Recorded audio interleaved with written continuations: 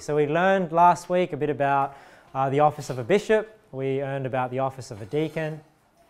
Uh, we talked about why God has authority in the local church for, for various reasons. You can go back and listen to that sermon.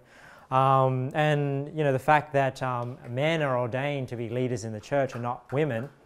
And it's not because women are of any less value, it's just because that's how God has ordained it. And, women have a tendency to be more easily deceived. So God put men in charge, not only because God are accountable to men, but also because men have a tendency to be uh, more solid on the truth and on what they believe.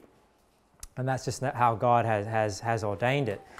Um, you know, the world is trying to change that. You know, the world is trying to put women in charge and trying to put women in charge in the church but that's not how God would have it. And as Bible believing Christians, we need to hold to the truth because if we don't, uh, you know, one danger is, is if we start to compromise on what the Bible clearly says, then it's hard to take a stand on anything the Bible says, right? Because when the Bible starts to say other things, you know, people say, well, you're a bit inconsistent because the Bible clearly says here that, you know, the bishop and the deacon should be men and should be the husband of one wife. And if you're not going to take that literally, why should we take anything literally? Why should we take the resurrection literally? Why should we take uh, what Jesus taught about salvation literally?